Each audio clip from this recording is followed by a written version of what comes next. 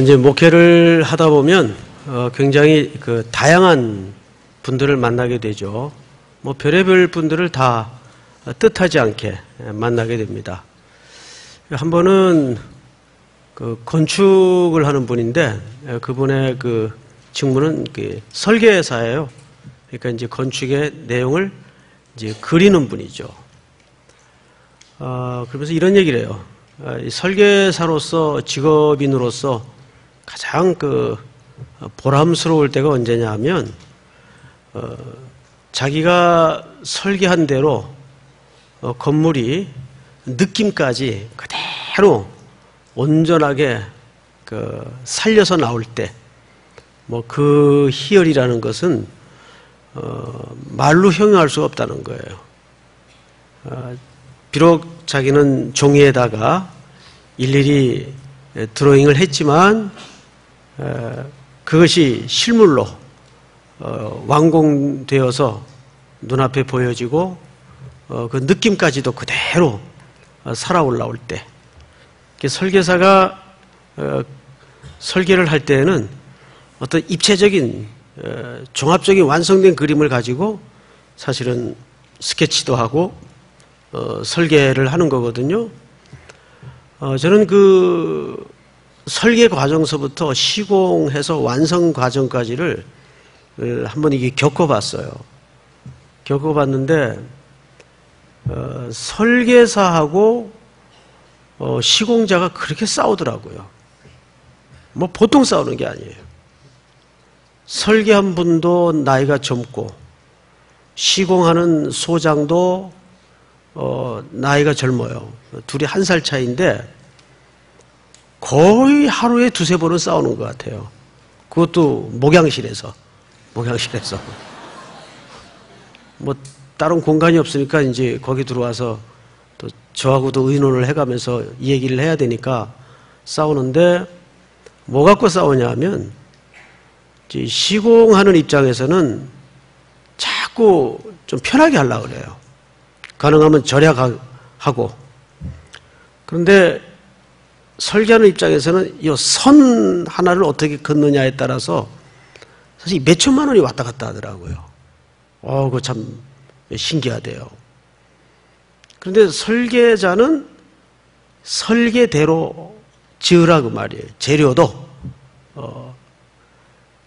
그러니까 이제 서로 안 맞으니까 그렇게 싸워요. 한 번은 둘이 다 내쫓았어요. 나가 싸우라고. 어, 너무 화가 나가지고. 근데 그 설계하는 분의 이야기는 설계도 대로 그림이 느낌까지 온전히 살려져서 완성될 때만큼 기쁨은 없다는 거예요. 하나님께서도 꼭 같은 마음 같아요.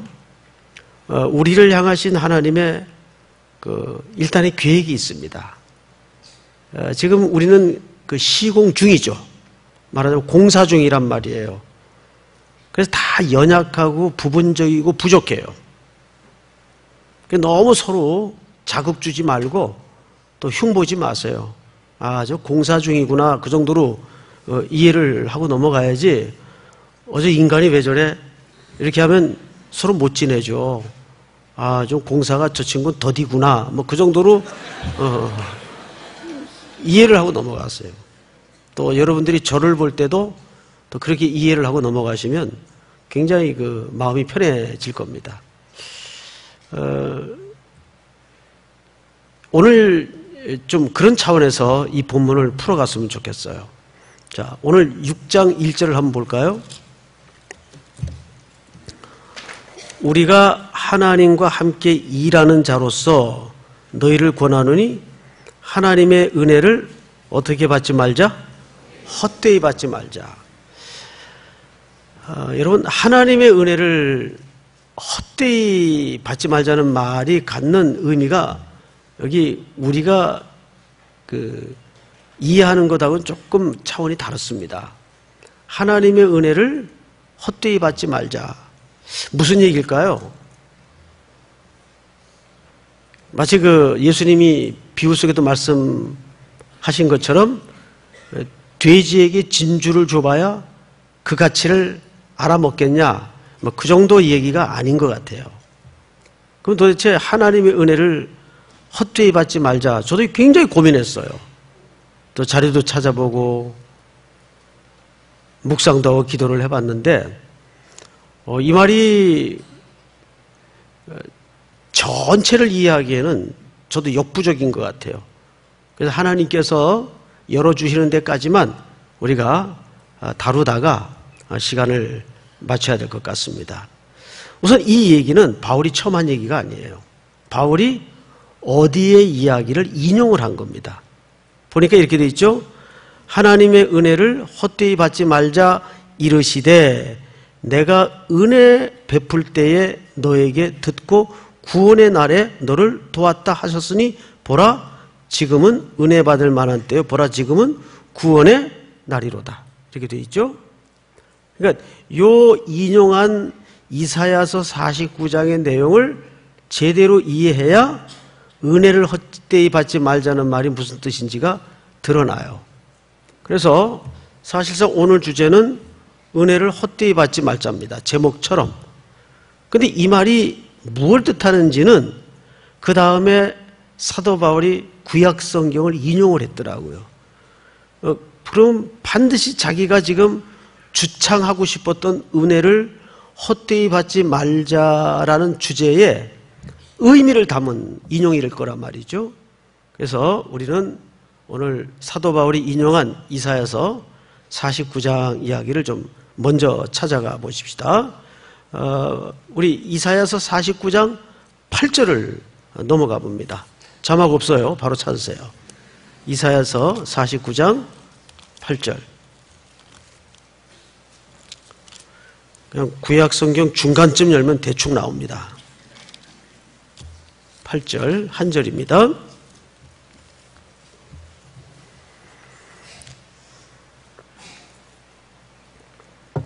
어, 한번 같이 읽을까요? 시작. 여호와께서 이같이 이르시되 은혜의 때에 내가 네게 응답하였고 구원의 날에 내가 너를 도왔도다. 내가 장차 너를 보호하여 너를 백성의 언약으로 삼으며 나라를 일으켜 그들에게 그 황무하였던 땅을 기업으로 상속하게 하리라. 예, 잘 보시면 뭐 본문이 좀 길긴 한데 어, 결론에 이렇게 되어 있어요. 그 황무하였던 땅을 기업으로 상속하게 하리라. 뭘로 상속한다고요? 기업으로 상속하게 하리라. 말하자면 이 말은 이런 뜻입니다. 은혜의 때에 내가 네게 응답하겠고 구원의 날에 내가 너를 도왔도다. 내가 장차 너를 보아 너를 백성의 언약으로 삼으며 나라를 일으켜 그들에게 그 황무했던 땅을 기업으로 상속하게 하리라. 이것은 구원 이후에 고토로의 온전한 회복을 약속하는 겁니다. 고토로의 회복을 통해서 그 기업을 어떻게 하시겠대요? 상속하시겠대요. 자, 그러면 기업을 상속해 할 때는 반드시 뭐가 전제될 수밖에 없을까요? 구원이 전제될 수밖에 없어요.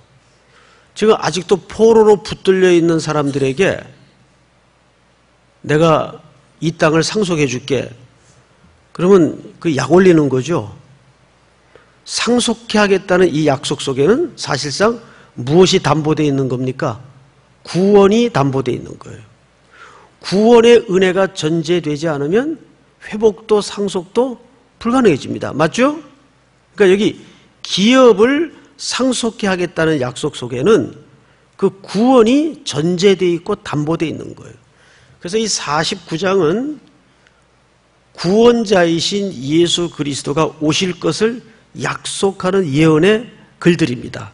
그런 의미에서 49장 1절을 한번 보세요. 1절. 1절을 보시면 섬들아 내게 들으라. 먼 곳의 백성들아 귀를 기울이라. 여호와께서 태에서부터 나를 부르셨고 내 어머니의 복중에서부터 내 이름을 기억하셨으며 2절 다 같이 시작. 내 입을 날카로운 칼같이 만드시고 나를 그의 손 그늘에 숨기시며 나를 갈고 닦은 화살로 만드사 그의 화살통에 감추시고 내게 이르시되 너는 나의 종이요 내 영광을 네 속에 나타낼 이스라엘이라 하셨느니라 시작 그러나 나는 말하기를 내가 헛되이 수고하였으며 무익하게 공연히 내 힘을 다하였다 하였도다. 참으로 나에 대한 판단이 여호와께 있고 나의 보응이 나의 하나님께 있느니라. 이 얘기는 무슨 얘기냐면 지금 49장 1절서부터도 쭉 무슨 얘기를 약속하고 있냐면 그들이 이미 복중에서부터 택함을 받았고 구원받은 백성이라는 것을 약속하고 있어요. 내가 너를 보호할 것이고 구원할 것이다. 1절의 이야기가 사실은 그 얘기입니다. 섬들아 내게 들으라 먼 곳의 백성들아 귀를 기울이라. 여호와께서 태에서부터 나를 부르셨고 내 어머니 복중에서부터 내 이름을 기억하셨으며 이 전부 구원에 관한 이야기입니다. 자, 그런데 그 구원의 약속을 듣기 전에 그 소식을 알기 전에 그 의미를 이해하기 전에는 이 백성들이 착각을 했었다고요. 사절처럼. 사절 이렇게 착각했어요. 그러나 나는 말하기를 내가 헛되이 수고하였으며 무익하게 공연히 내 힘을 다하였도다 하였도다.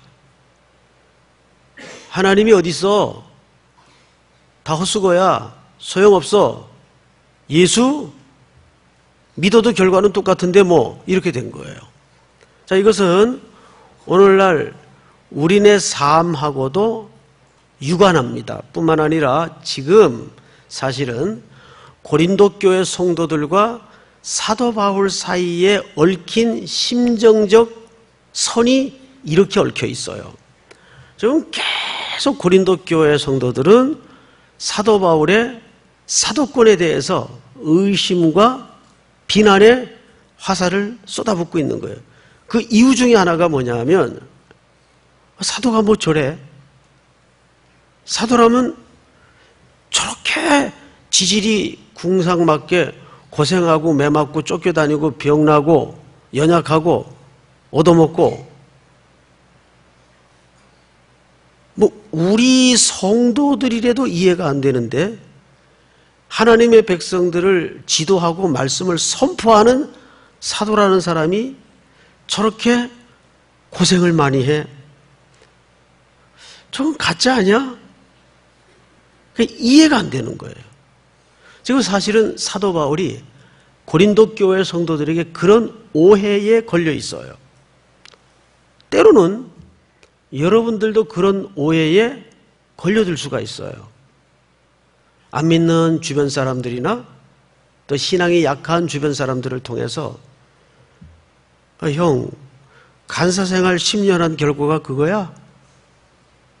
아직 결혼도 못하고 뭐 이렇게 된 거예요. 쉽게 얘기하면. 굉장히 공감 가죠. 예. 언니 간사 생활 그렇게 열심히 한 결과가 그거야? 아 그러면 확 할 말도 없고 짜증나요. 지치고 그래 제 말이 맞아. 이렇게 되는 거예요. 지금 사실은 이스라엘 백성들에게 하나님이 구원을 설명했어요.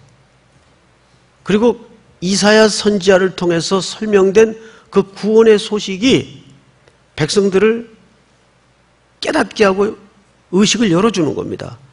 우리가 이 이야기와 이 이야기 속에 약속 속에 담아진 메시아가 오셔서 이루실 구원을 알지 못했더라면 우리도 이렇게 헛소리 했을 거다. 사절이 그 얘기예요. 사절을 다시 보세요. 그러나 나는 말하기를 내가 헛되이 수고하였으며 무익하게 공연히 내 힘을 다하였다 하였도다. 내가 함부로 판단했을 때는 그렇게 상황에 대해서 실망하고 판단해서 자조적인 이야기를 쏟아내고 넘어질 뻔했다 그 말이에요. 자, 그런데 6절을 한번 볼까요? 이런 얘기가 있습니다. 6절. 한번 전체가 같이 읽겠습니다. 시작. 그가 이르시되 내가 나의 종이 되어 야곱의 지파들을 일으키며 이스라엘 중에 보존된 자를 돌아오게 할 것은 매우 쉬운 일이라 내가 또 너를 이방의 빛으로 삼아 나의 구원을 베풀어서 땅 끝까지 이르게 하리라. 여기 알듯 모를 듯한 표현 하나가 우리 눈길을 끌죠. 뭐냐 하면 6절을 잘 보세요. 이스라엘 중에 보존된 자를 돌아오게 할 것은 매우 어려운 일이라 쉬운 일이라 예, 옛날 성경에는 경한 일이라 이렇게 번역이 돼 있었어요. 쉬운 일이라. 자, 저를 보십시다. 이 얘기는 이제 쭉 예, 구원의 구원의 순서를 통해서 한번 설명해 볼게요. 이런 얘기입니다. 이사야 선지자를 통해서 하나님이 이스라엘 백성들에게 지금 뭘 설득하냐 하면 너희들을 구원하는 일은 오히려 쉬운 일이다. 그 얘기예요. 그럼 구원은 어떤 방식으로 하셨죠? 신약에서 누구를 통해 어떤 방식으로 우리를 구원하셨습니까? 예수 그리스도의 죽음과 십자가의 사건을 통해서 우리를 구원하셨어요. 이게 조금 풀어놓자면 그런 얘기입니다. 십자가의 사건은 앞으로 그대들이 경험하고 누릴 어떤 일에 비해서는 가볍고 쉬운 일이다 그 말이에요. 오해하지 마세요. 십자가 사건이 그렇게 경월이 취급받아도 된다는 그런 얘기가 아닙니다. 무엇에 비해서 앞으로 누릴 어떤 것에 대해서 이렇게 중요한 얘기를 지금 하고 있는데 어, 굉장히 못 알아듣는 표정을 지금 하고 계시면 안 돼요. 자, 어떤 일이냐? 8절이 그 얘기입니다. 8절을 제가 다시 읽을게요. 여호와께서 이같이 이르시되 은혜의 때에 내가 네게 응답하였고 구원의 날에 내가 너를 도왔도다. 내가 장차 너를 보호하여 너를 백성의 언약으로 삼으며 나라를 익혀 그들에게 그 황마였던 땅을 기업으로 상속하게 하리라. 뭐로 상속하게 한다고요? 기업으로 상속하게 하리라. 우리를 구원하시, 다시 말해서 홍해를 건너 6월절 어린 양의 구원을 경험하게 하신 것은 홍해를 건너는 데 목적이 있지 않죠. 홍해를 건너서 홍해 해변가에서 쭉 파라솔 펴놓고 저게 껍질 묶고 뭐 이거 이거 하려고 우리 구원한 거예요? 그거 아니란 말이에요. 이제 그렇게 어린 양의 죽음을 통과한 홍해를 건넌 신약식으로 해석을 해서 십자가의 사건을 경험했다면 이젠 어디로 들어가야 돼요? 어디로 들어가야 돼요? 가나안으로 들어가야죠. 가나안으로 들어가야죠. 오늘 그 얘기를 기업의 상속을 위해서 그래요. 그러니까 이런 거죠. 어, 이제 서구 신학자나 목회자들이 한국 교회 성도들의 신앙을 보고 아직도 갈보리 언덕에 머물러 있다라는 조금 놀림을 합니다. 그 놀림이 이해는 돼요. 우린 늘 십자가 사건이 신앙의 끝이고 전부인 줄 압니다.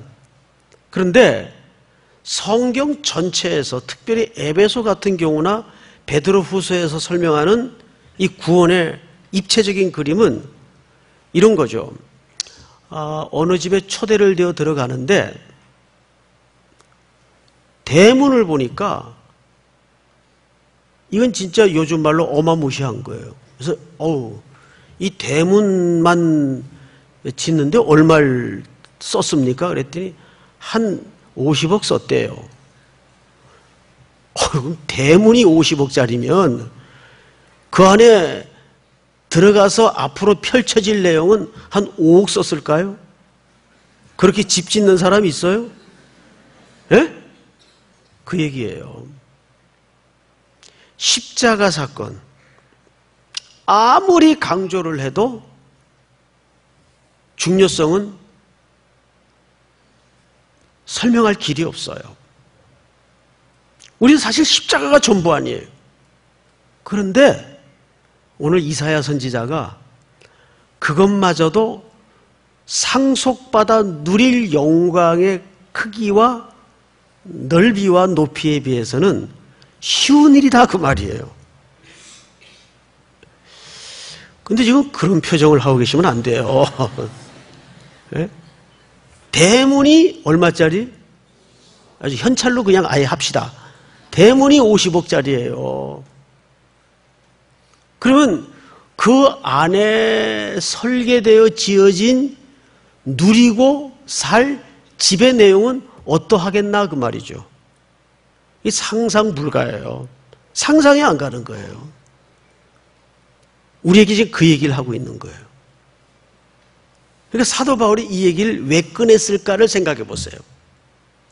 지금 교회 성도들이 사도 바울에 대한 오해 때문에 뭘 지금 공격하고 있죠?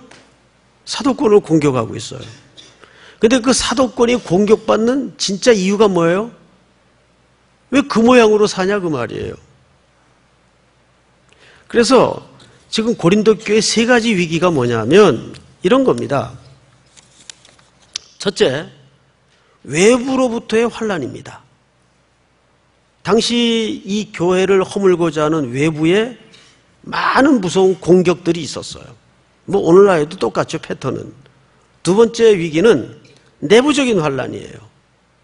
고린도 교회 성도들의 신앙적인 영적인 미성숙 때문에 벌어지는 혼란들이 있었어요.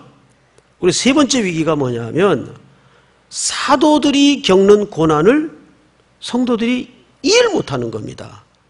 아니 하나님의 종들이라는데 왜 저렇게 살아? 이렇게 된 거죠.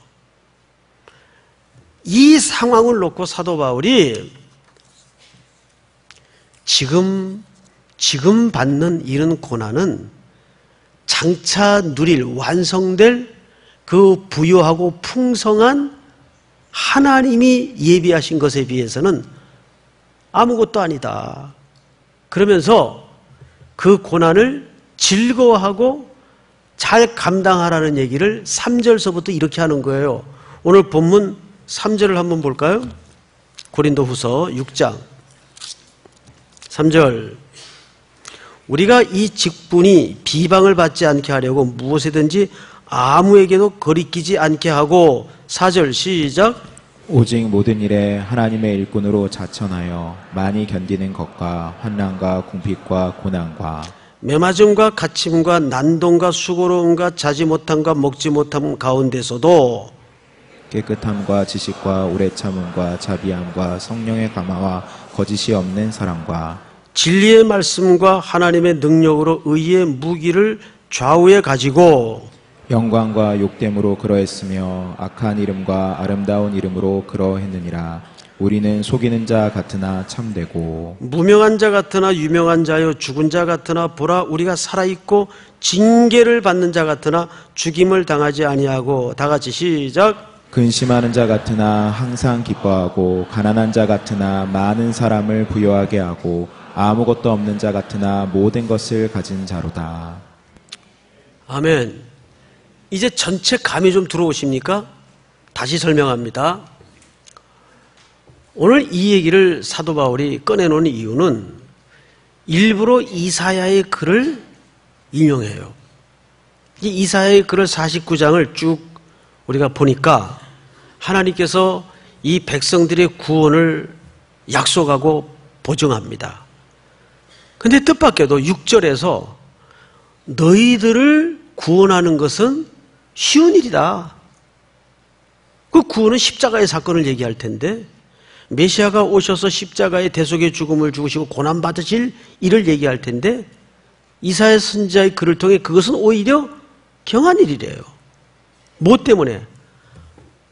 뭐에 비교해서 앞으로 누릴 상속의 크기와 깊이와 높이에 비하면 그러니까 그 완성된 자리까지 걸어가는 신앙의 여정에서 우리에게 닥쳐지는 눈물의 길, 고난의 길, 어려움, 이 모든 것들을 우리는 즐겁게 감당하고 견뎌야 될 분명한 이유가 있다는 것을 이렇게 얘기합니다. 여러분, 가정이라도 한번 기분 좋은 상상을 한번 해봅시다. 이거는 가정이고 상상이에요. 어느 분이 하, 쪼들리는데 뭐 정말 취직도 안 되고 돈도 없고 뭐 연, 월말 되면 돈 꾸러 다니기 바빠요. 애들은 돈 달라 그러지. 근데 어느 날 법원에서 편지 한 통이 온 거예요. 뜯어보니까 뭐 옛날 얘기가 써 있는데 뭔 소린지를 모르겠어요. 법률 용어가 하도 많고. 그 보니까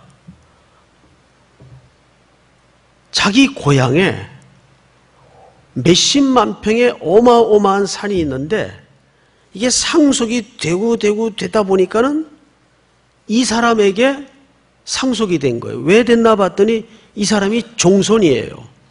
그래서 그 가문의 모든 선산과 유산을 이 종손에게 전부 법률적으로 오래전부터 상속을 해놓은 겁니다. 집안에서.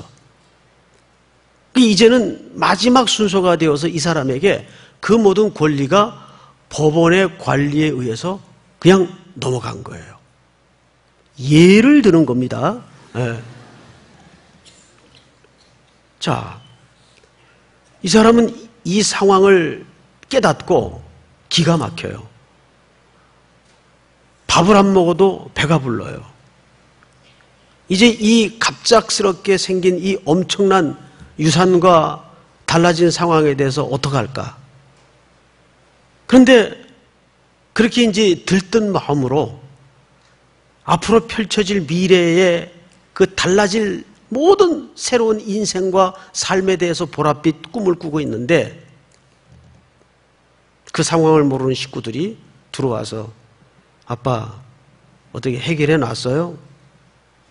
또 와이프는 요거 내일까지인데 아직도 강감 소식이에요? 그래서 짜증을 내고 화를 냅니다. 어떻게 하면 좋겠냐고. 바가지를 긁고 난리를 쳐요. 그러면 갑작스럽게 모든 상황이 바뀌어버린 이 사람도 같이 짜증을 내고 같이 화가 날까요? 그래요? 여유작작하게 빙글빙글 웃으면서 어, 괜찮을 거야. 다 해결될 거야. 걱정하지 마. 아, 당신은 뭘 믿고? 아, 아빠는 뭘 믿고? 어, 다 수가 있어. 다 대안이 있어. 여러분, 달라지는 거예요. 뭘 알고 있는 사람은 상속될 기업이 어떠함을 알고 있는 사람은 그 여러분 이제 잠 안 오면 이런 상상을 한번 해보세요. 누워서 에? 얼마나 즐거운가? 아, 상상도 못해요. 에? 얼마나 즐거운가? 에? 그동안 날 깔보고 흉보고 비난하고 놀리고 하던 친구들에 대해서 어, 어떻게 내가 변신을 하고 나설까? 뭐 그런 상상도 해가면서 여러분 유명한 천국 비유의 마태복음 13장 44절에 보면 농부가 밭을 갈러 나갔다가 보화를 발견하지 않습니까? 그리고 묻고 돌아가서 자기 소유를 다 팔아 그 밭을 샀다 그래요. 여기 뭐가 일어난 거예요? 가치 전환이 일어난 거예요. 가치가 확 뒤집어지는 순간 자기의 것을 다 팔아도 아깝지 않는 무엇가 발견이 된 겁니다. 번쩍 눈이 떠진 거예요. 할렐루야. 그러니까 기업의 상속.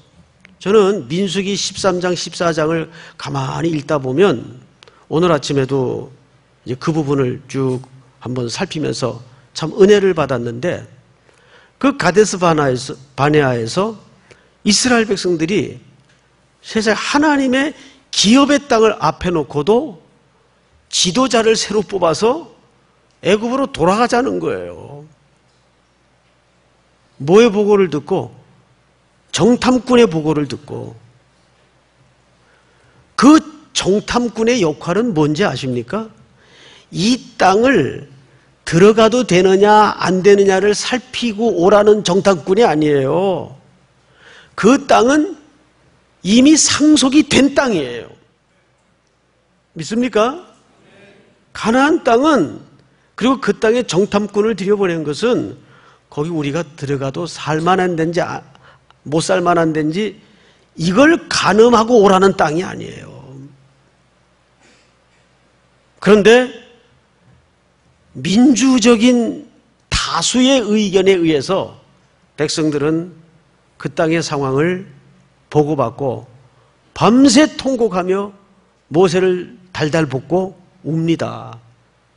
이거는 무서운 불신앙이에요. 이건 실질적으로 구원을 거절하는 사건이에요. 이미 구원 받았음에도 불구하고 그 말이 뭐예요? 은혜를 헛되이 받지 말라. 요즘 매번 기기들이 업그레이드 돼서 나오죠. 뭐 5가 나오면 몇 달 안 가서 또 6 나오고 6 나오면 또 6S가 나오고 그 얼리 어답터들은 이거 바꾸느라고 재정이 많이 들어가요. 자, 그런데 솔직히 그 기계의 기능을 몇 프로 놨습니까? 몇 프로 놨어요? 50%도 못 쓸 것 같아요. 근데 어플은 또 다 받아놔. 쓰지도 않으면서. 예? 막 창까지 만들어가지고 막 몰아넣어 또 거기다가. 보면 안 써요. 거의 안 써요. 폴더폰이 최고 경제적이에요. 내가 볼 때는. 폴더폰. 열고 닫는 맛도 있고. 어.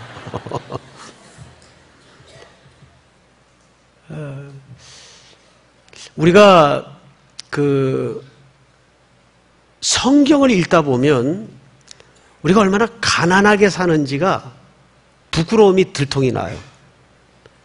우리는 사실 그렇게 안 살아야 될 사람이거든요. 이미 모든 걸 가졌고 누렸어요. 그래서 사도 바울이 오늘 본문에서 이런 얘기를 합니다. 자, 10절을 잘 보세요. 근심하는 자 같으나 항상 기뻐하고 가난한 자 같으나 많은 사람을 부유하게 하고 아무것도 없는 자 같으나 모든 것을 뭐한 자래요? 가진 자래요.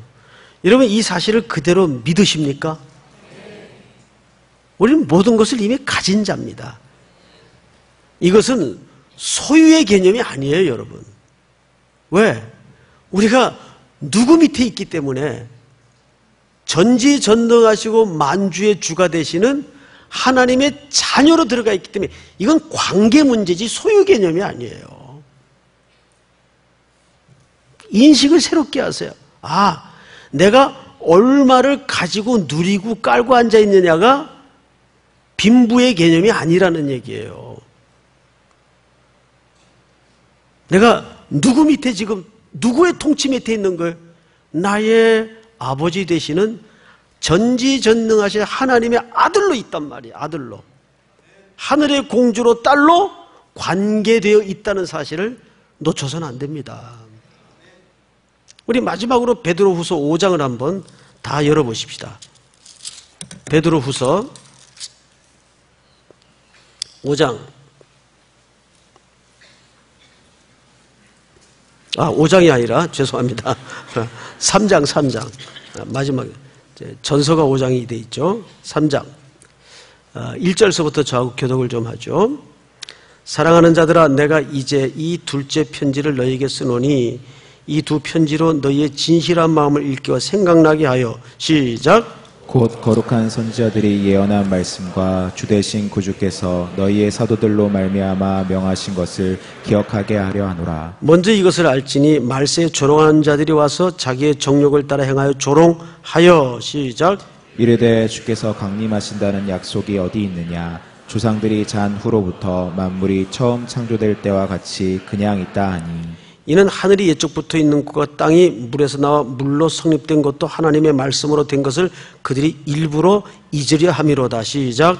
이로 말미암아 그때 세상은 물이 넘침으로 멸망하였으되 이제 하늘과 땅은 그 동일한 말씀으로 불사르기 위하여 보하신 바 되어 경건하지 아니한 자들의 심판과 멸망의 날까지 보존하여 두신 것이니라. 시작. 사랑하는 자들아 주께는 하루가 천년 같고 천년이 하루 같다는 이 한 가지를 잊지 말라. 주의 약속은 어떤 이들이 더디다고 생각하는 것까지 더딘 것이 아니라 오직 주께서는 너희를 대하여 오래 참으사 아무도 멸망하지 아니하고 다 회개하게 이르기를 원하시느니라. 시작.